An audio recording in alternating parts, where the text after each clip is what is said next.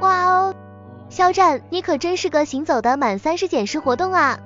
一瞬间，从月初的沧桑大侠，变成了月底的纯净奶狗，简直是国际巨星级别的形象变换，不禁让人好奇，这家伙是怎么在短短的时间里完成这种逆袭的呢？难道是参加了快速变身一零一吗？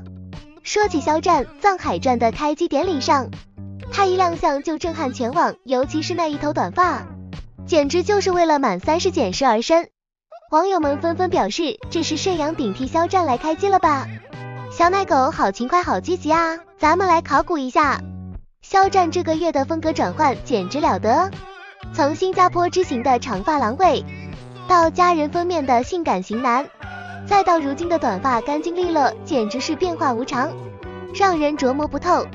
网友们戏称这是肖战一天一个人格啊！果然，肖战梦回沈阳。下一秒又要切换到心思缜密的藏海大人了。但是让人更加佩服的是肖战的自律能力，他不仅外表焕然一新，而且在职业上也毫不含糊。作为艺人，他深知身体发肤早已不由自主，要服务于工作和角色，服务于大家期望中的那个肖战。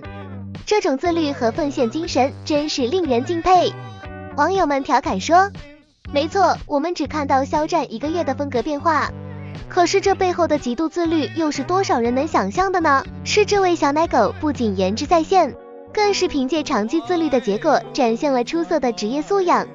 肖战的心态也相当的人间清醒，他不纠结于真实的肖战和工作的肖战之间的矛盾，而是懂得如何去平衡。这种心态让人佩服不已。看来这位巨星不仅在外表上有着高标准，内心的成熟和深度也让人眼前一亮。说到肖战的吸引力，那简直不要太多了。除了好看的脸之外，他阳光正能量的气质更是符合主流审美和我们对优质偶像的心理需求。这不仅仅是一张好看的脸，更是长期自律的完美写照。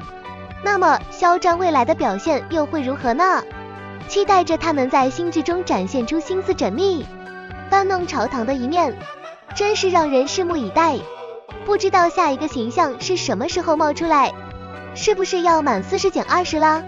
从我的角度来看，肖战的变化确实令人惊叹，无论是形象的转变，还是职业上的自律，都展现出他对艺术的执着和对事业的敬业。